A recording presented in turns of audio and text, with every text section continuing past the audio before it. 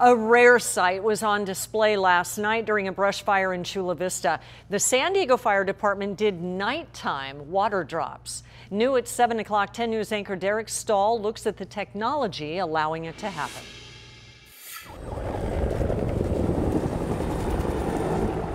It's a sight Chula Vista firefighters aren't used to. Drop after drop of aerial support at night. It made a big difference.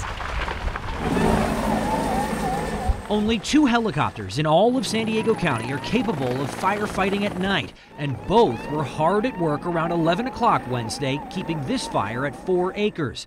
The helicopters are operated by the San Diego Fire Rescue Department. There's always a concern at night because of the unknown, what you can't see. For decades, nighttime water drops were unheard of. Cal Fire still doesn't do them, but it's catching on thanks to advances in night vision technology. These night vision goggles intensify light 6,000 times, allowing pilots to see obstacles a little more clearly. The tricky part is that they narrow your field of view. It's almost like looking down a paper tube.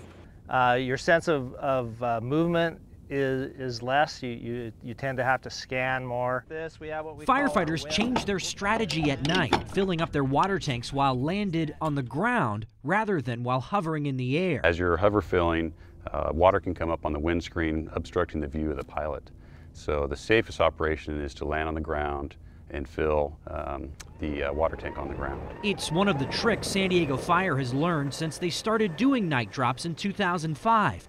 They expanded their coverage county-wide in 2014. We take a lot more precaution at night. We're very careful in how we do things. We plan things out very well. We have uh, checklists and, and things like that that we go through before we even leave uh, to ensure our safety. Derek Stahl, 10 News. CAL FIRE recently purchased some Firehawk helicopters for night flying. The agency says it hopes to roll that out about the first of the month.